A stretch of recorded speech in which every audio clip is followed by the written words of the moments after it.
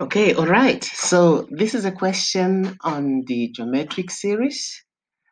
The sum of the series is given.